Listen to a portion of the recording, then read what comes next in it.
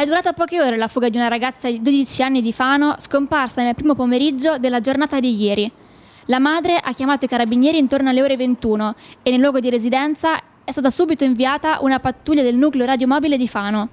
Dalle prime indagini si è scoperto che tra madre e figlia il rapporto era conflittuale e che la giovane più volte ha minacciato di allontanarsi da casa. Intervenuti anche i carabinieri della stazione di Fano, le ricerche sono partite dai posti in cui la minorenne è stata avvistata le ultime volte e in seguito sono proseguite con il controllo dei luoghi abitualmente frequentati dai giovani.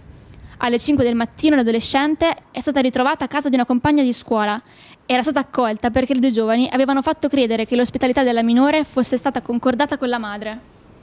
La mamma dell'amica incredula ha consegnato la giovane fuggitiva ai carabinieri e successivamente alla madre emozionata.